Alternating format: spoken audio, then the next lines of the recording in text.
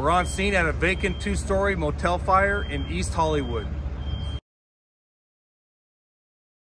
You can see LA City Fire Department. They just got through uh, cutting a hole right there, ventilating, letting all the uh, hot air and uh, hot uh, flames and so forth up out of this second floor unit. Uh, we arrived on scene to find fire showing from the second floor of a vacant two-story motel.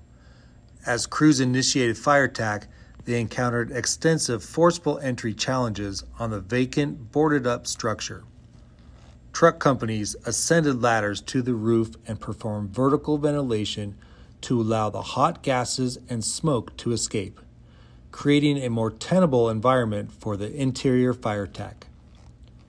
As fire attack continued to cut through the boarded windows and doors to reach the fire, the type of structure was determined to be a large, two story, C shaped vacant motel. Once firefighters reached the seat of the fire, they were able to make quick progress. Over 120 firefighters were assigned to this incident.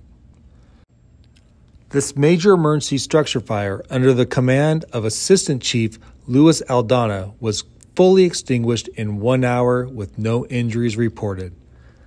LAFD Arson Section responded per protocol for an incident of this size.